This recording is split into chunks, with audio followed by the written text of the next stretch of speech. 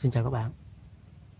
Hôm nay mình à, sẽ hướng dẫn cho các bạn à, cái à, cách mà bứng cây mai nha các bạn. Thì cái mai mình thì cũng cái mai nhỏ thôi. Nhưng mà cái mai nhỏ với cái mai bự đó thì cách bứng nó cũng tương tự với nhau. Nó chừng nắm tay mình thôi. Thì thì khi bứng mai mình cần có những dụng cụ này các bạn nhất là cái kéo mình à, để mình à, tỉa cành.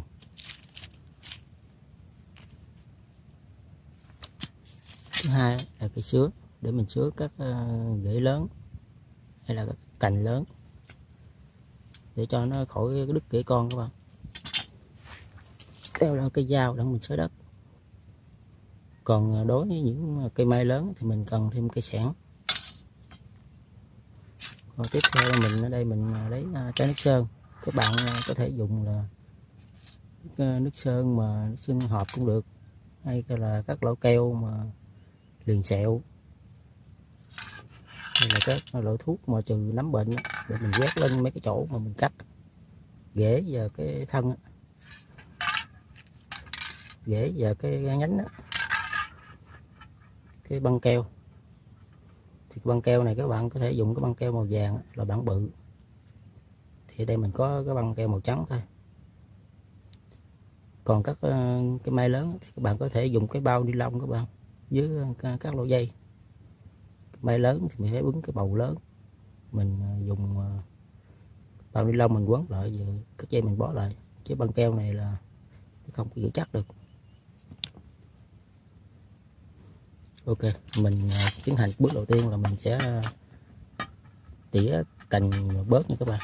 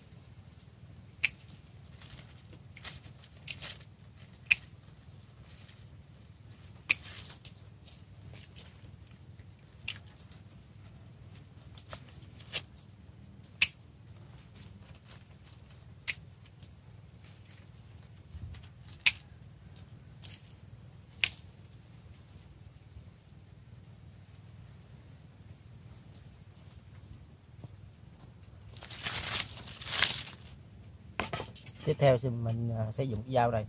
Mình sẽ bứng à, à, cái, mai lên. Các bạn đào cách gốc một khoảng chừng hai tấc hay là tấc rưỡi đối với mai nhỏ. Còn đối với những cái mai mà lớn hơn thì có thể là đào cái bầu lớn hơn các bạn. Mình tiến hành mình đào.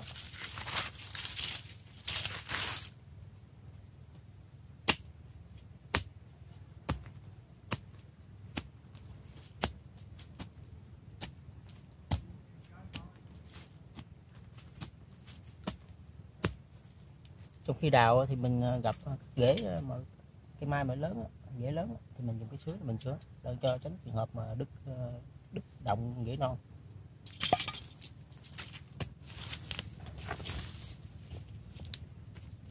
Ok, mình đã bứng xong.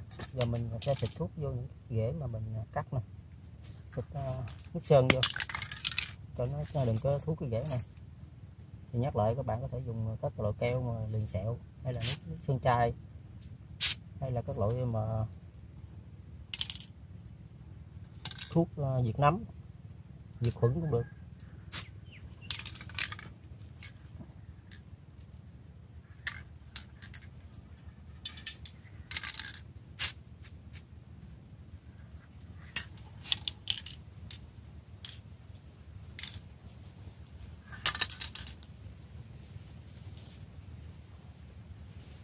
Mình ờ, sơn sơn cho muối rễ xong. Mình sẽ, sơn lên. Cái nhánh. Cái nhánh mà mình cắt tỉa nãy.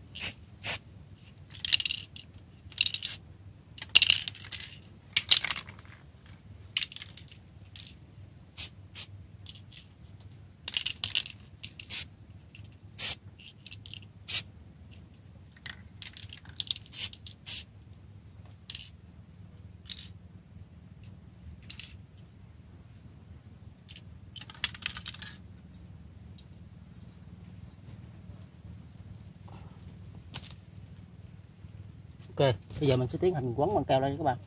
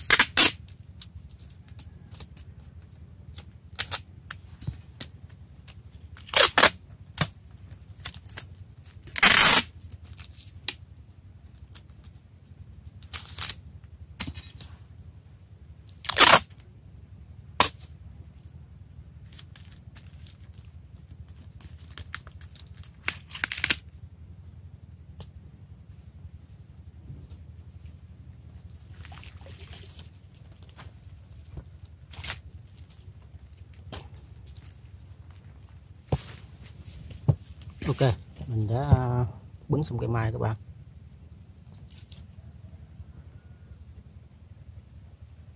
Đây. Mình bứng, mình à, rồi mình bó như vậy thì mình có thể mình à, vận chuyển đi được xa các bạn. Còn nếu gần thì mình khỏi bó hay lại khi mình vận chuyển đi xa thì sợ nó nó nó nó bể cái bầu ra thôi. Mình không bó, đây là bể, sợ bể bầu à. mình trồng nó khó sống hơn.